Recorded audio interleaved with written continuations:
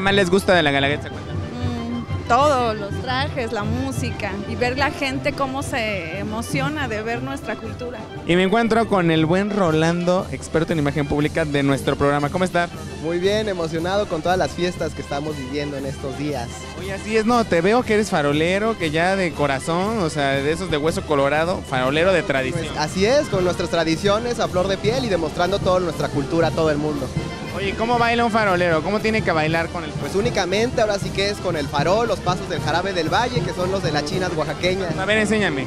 Ahí está la música.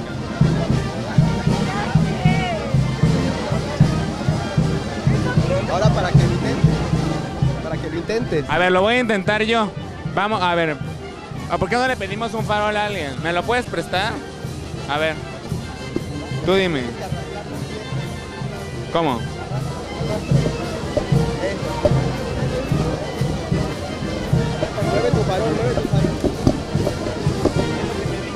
Yo ya.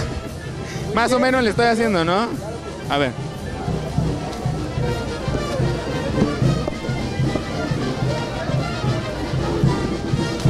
Pues ahí los estoy destruyendo. Oye, pues ya paso la prueba, ¿no? Claro que sí, ya puede ser un farolero más de la delegación. Un farolero más de la delegación. Lo mejor de la fiesta de la Guelaguetza es que invitan a la gente a que forme parte de nuestra cultura y que conozca lo que es nuestro ambiente, nuestra pasión, todo lo que tenemos los oaxaqueños que darle al mundo. Ay, excelente, todo, eh, todo.